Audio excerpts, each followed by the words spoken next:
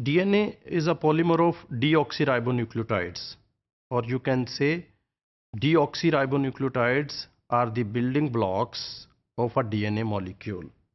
What is a deoxyribonucleotide?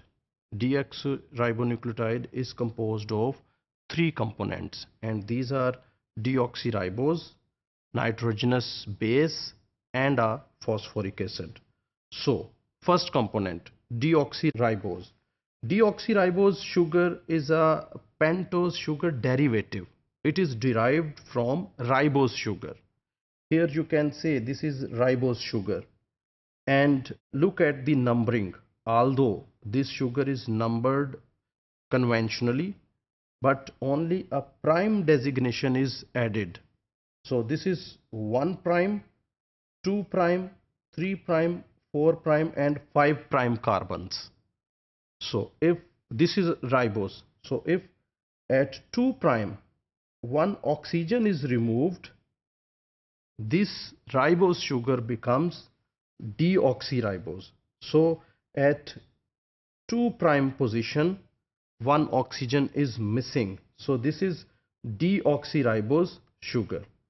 So this is one component of deoxyribonucleotide. The second component is the nitrogenous base four different types of nitrogenous bases are present in a DNA molecule and these four nitrogenous bases they are derived from two parent compounds and these two parent compounds are purines and pyrimidine. These two are parent compounds and the rest the all the nitrogenous bases four nitrogen bases are derived from these two compounds.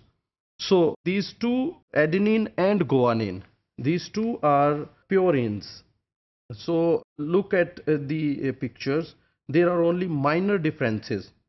For example difference lies here and here.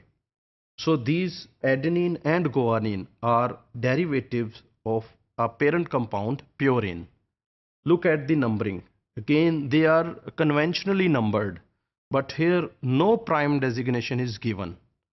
To distinguish this from the numbered atoms in the pentose sugar so uh, next two are pyrimidines and these are cytosine and thymine.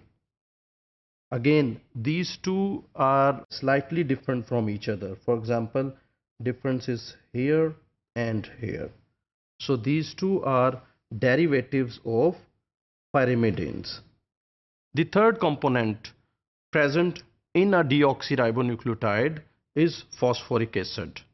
Phosphoric acid has three hydroxyl groups. So it can form three bonds with other molecules. So all th these three components that is a deoxyribose sugar, a nitrogenous base and a phosphoric acid they combine together and they make a deoxyribonucleotide which is the building block of the DNA molecule.